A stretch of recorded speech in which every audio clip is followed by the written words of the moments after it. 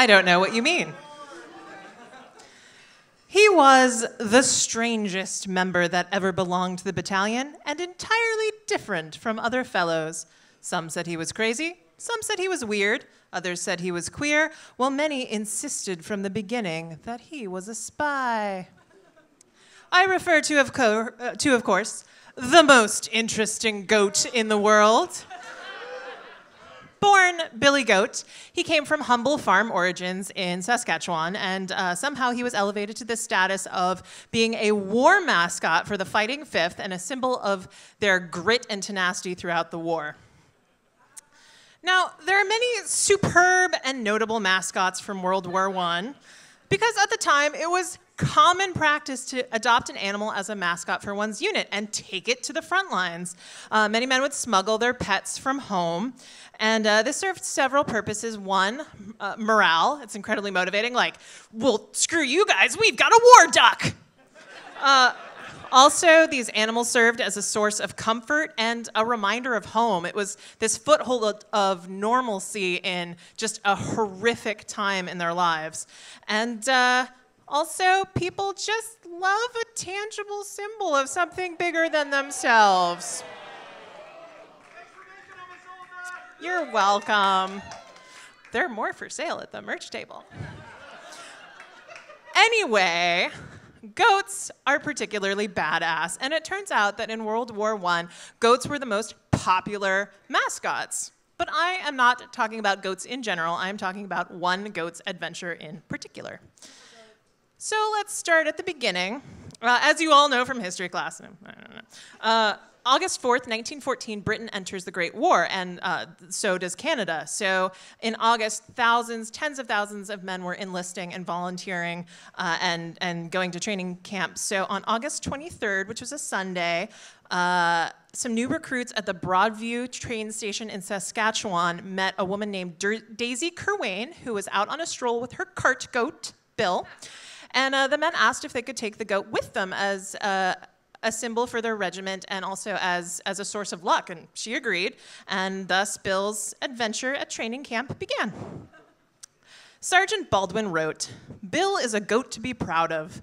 When the battalion was drawn up in review order and strictly at attention, no soldier ever stood more erect. He would stand with the transport, all four legs firmly braced on the ground, his head held high without a flicker or movement. He was, for the most part, one of the men. He trained with them, he lived with them, and he was treated just like one of the soldiers. This is like, where's Waldo? Uh, there was a special exception for Bill, however. Bill, and only Bill, would not be punished for failure to shave while on parade. By October of the same year, 1914, the men were to ship out to England, and their colonel ordered them to leave Bill behind. Do you think they followed that order? No, no. We could not part with Billy. The boys argued that we could easily get another colonel, but it was too far to the Rocky Mountains to get another goat.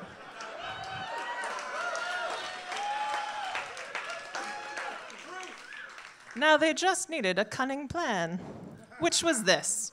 They had their goat, but how would they get the goat to England?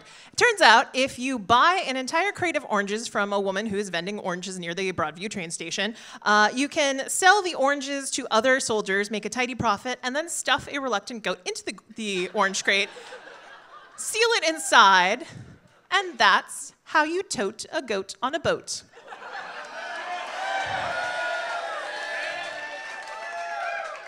Whatever floats your goat, am I right?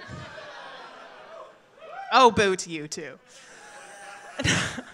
when the men arrived in Devonport in England, there was another issue. This was not the only obstacle that they had to uh, surmount. As Bill was livestock from another country, he had to go into medical quarantine and was immediately separated from the men.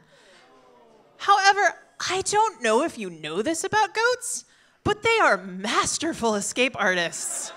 Somehow, this animal, which is noted for its cunning, agility, climbing ability, jumping ability, somehow he broke free. I imagine he just parkoured his way out of the, uh, the restriction and he rejoined the battalion. He found the men of the 5th and thus began the adventure in France. The next few months in the front lines of France were not too bad for old Bill. The men adored the goat. He was invited to officers' parties, he participated in boxing matches, he was undefeated. He developed a taste for canteen beer and apparently was quite the party animal and hilarious when drunk. Uh, beer was really hard to come by, so he couldn't get into trouble too often, but it did not help that the men kept sneaking him beer whenever they could because it delighted them to see him in his cups. However, Bill had a penchant for trouble. Within the very first few months of his service, he was court martialed twice. The first time, in early 1915, Bill was found nosing around the orderly room and fled when another officer entered the room. Lo and behold, the nominal roll was missing. Bill was arrested, and sure enough, a search of his billet turned up chewed up scraps of nominal roll. What was he doing with this sensitive information? Why did he eat it? Was he hiding something? Was he covering his hoof tracks? Was he a spy? No, he, he's, he's a goat. Only two weeks later, after this un- unfortunate incident, Bill was in trouble again. A superior officer scolded Bill for one of his unabashed caprine capers, and this was embarrassing for Bill, and he did not appreciate being publicly humiliated. So after the confrontation, the officer turned around to leave, and old Bill, yeah, you guessed it, Bill gave him the horns. And thus he was arrested again for striking a superior officer. He was stripped of all rank and that's how you demote a goat. However, Bill quickly redeemed himself at the Second Battle of Ypres. Under heavy fire, the men of the 5th discovered Bill pinning down a, a bewildered enemy combatant in a nearby shell crater. Despite a shrapnel wound to the neck, Bill refused to let this Prussian scout go until reinforcements of the 5th arrived. They tenderly nursed him back, the beloved goat, to health, and he was awarded the rank of sergeant for capturing the assailant. And that's how the goat smote the cutthroat. I'm running out of rhymes, you guys. Bill continued to serve in the front lines with the men of the 5th, and he saw dozens of battles, and he endured the same arduous hardship as the soldiers. He too was gassed at Ypres. Uh, in 1915, he received more shrapnel at Festubert in the, in the withers and the neck and the back. Uh, he also suffered trench foot that winter in the wet conditions of, of the trenches, as did the other men. At Vimy Ridge, he was shell shocked, and yes, a goat can get PTSD. Um, and if you, will, if you will, above, please note the goat coat. on, uh, on the front leg there, you can see his wound stripe that he earned for all of his injuries sustained in battle. So, uh, do you remember this goat anecdote of note? Last one. Well, turns out old Bill headbutted another officer.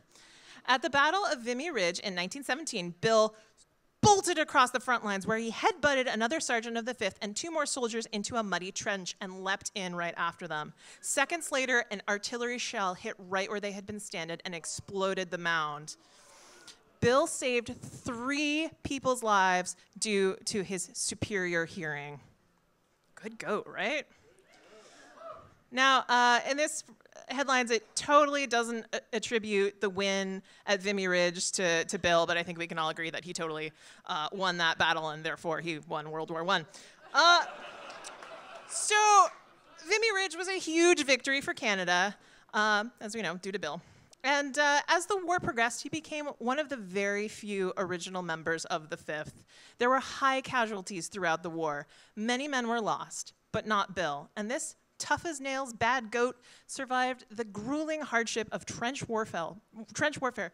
Battle after battle after battle, he just kept going. Billy the goat is still going strong, and it is the boast of the fifth that Kaiser Wilhelm has not yet got their goat. Bill kept kicking, or rather headbutting, but all the way to Armistice Day of November 11th, 1918. As the war ended, Sergeant Bill and the rest of the 5th Battalion traveled to Berlin. They marched in the Grand Victory Europe Parade, Bill wearing a blue plush coat with his rank, wound stripe, crest of the battalion, and a 5 embroidered on the flank. He was the only original mascot in the parade, i.e., the only animal that had served the duration of the war and not been replaced. Like, oh no, our war duck expired, let us get another duck. Uh, he received many accolades for his service. Many, uh, the, the, the battalion got many medals overall, and he got some specific medals for his service. And in 1919, he returned home with the battalion. Uh, the records note that there was some trouble at immigration getting re-entry to Canada. It doesn't say how, how that, that was solved. I imagine there was some creative headbutting and parkouring out of immigration. Uh, we can only imagine. But the 5th Battalion demobilized on April 24th in 1919. With his, with his grand adventure behind him, he returned to the Kerwayne farm and lived carefree for the rest of his goatee days. When he did pass away, the 5th Battalion paid to have him stuffed and mounted where he was prominently on display in a legislative building. and you can still visit Billy Goat. in his parade regalia, where he now presides at the Broadview Historical Museum in Saskatchewan, an enduring reminder of grit and tenacity during the Great War. And so, a goat toast. A toast to Billy Goat, the roughest, toughest mascot. A reminder if your superior officer gives you crap, give him the horns, and may your enemies never get your goat. To Bill.